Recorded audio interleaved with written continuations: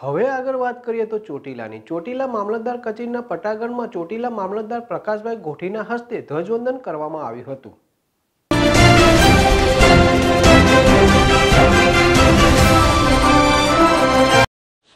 સમગ્ર દેશમાં આજ છવ્વીસમી જાન્યુઆરી પ્રજાસત્તાક દિવસ ઉજવાઈ રહ્યો છે.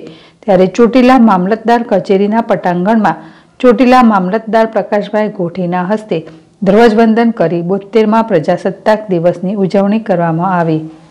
આજના કાર્યક્રમમાં ધ્વજવંદન બાદ ભાજપ અગ્રણી મેરુભાઈ ખાચર, પ્રદીપભાઈ ખાચર, ગંભીરસિંહ ચૌહાણ, નરેશભાઈ મારુ અને અગ્રણીના હસ્તે વૃક્ષારોપણ કરવામાં આવ્યું.